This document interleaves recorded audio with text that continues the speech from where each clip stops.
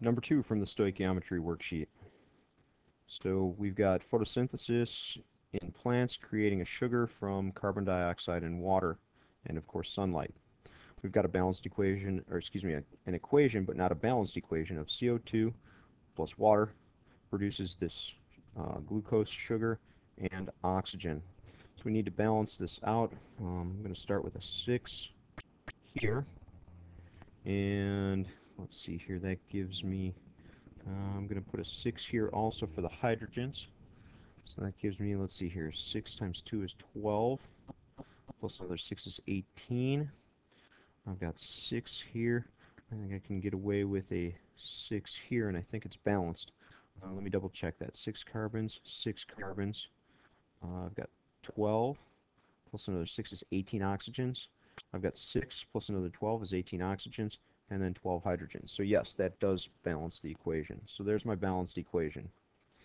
First question is, how many grams of glucose can be created by performing photosynthesis if 13 and a half moles of carbon dioxide, 13 and a half moles of carbon dioxide is used and we want to know how many grams of glucose. So there's my given and my unknown. Uh, looks like this would be a mole mass problem since I'm starting with moles and ending with grams. so I'm going to go ahead and write down my given 13.5 moles of carbon dioxide, CO2. And over here I'm looking for grams of glucose, which is the C6H12O6. So I'm going to go ahead and start by going, well, let's do this. I'm going to put together a little plan here. I want to go from moles of CO2 to moles of glucose, C6H12O6, to grams of glucose, C6H12O6. So what I want to do is I want to convert from moles to grams, excuse me, from moles to moles, and then from moles to grams. So my first step is going to go from moles of carbon dioxide to moles of that sugar. And let me go ahead and, again, I'm going to highlight instead of boxing because I don't have a lot of room. I am interested in this, and I am interested in this. So let me put together my molar ratio.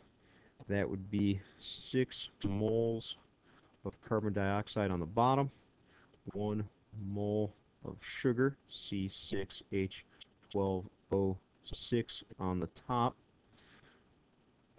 moles of carbon dioxide cancel.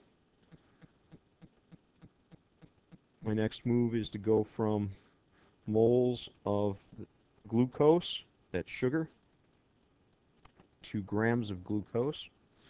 So I'm going to have one mole of C6H12O6 on the bottom and so many grams of C6H12O6 on the top. Let me go ahead and grab a calculator. Um, I could look this stuff up on the periodic table. I'm looking for stuff like oxygen, carbon, hydrogen. Get rid of this stuff here from the last problem. And I've got C6, so that's 6 times 12.01. I've got 12 times carbon, this is for hydrogen. I've got 12 times 1.008 for my hydrogen. And I've got uh, 6 times 16.00 for my oxygen. So again, I'm getting this off of the periodic table. So I'm going to have 12.01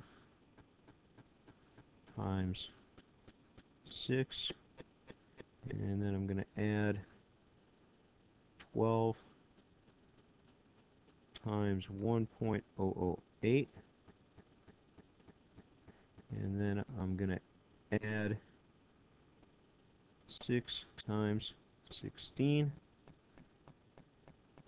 and it's 180.156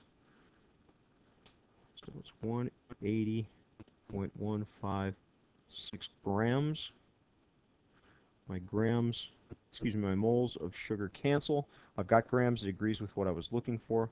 I'm ready to go ahead and calculate.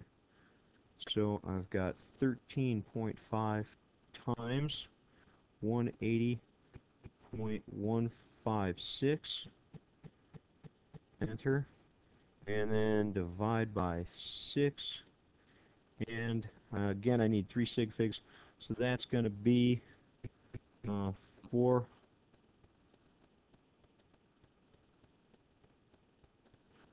405 grams of that sugar glucose. Next problem is how many grams of water am I going to use with uh, to create 20 moles of oxygen. So again, I'm going to identify my unknown grams of water, my given moles of oxygen. So in this case, this is a mole mass problem. looking for grams. It's the same as before. I'm going to take that same path. I'm going to go from moles to moles to grams. Only I've got different materials this time. So let me write down my given 20.0 moles of oxygen times I've got a new set of things that I'm interested in. I'm now interested in oxygen and water. So I'm going to create a ratio for that.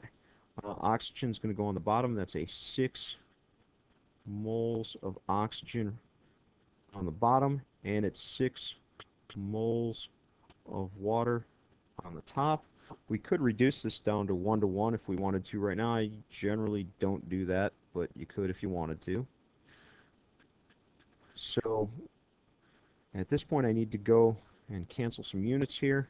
Moles cancel, moles of oxygen cancel. I'm left with moles of water. I'm ready to convert that to grams of water.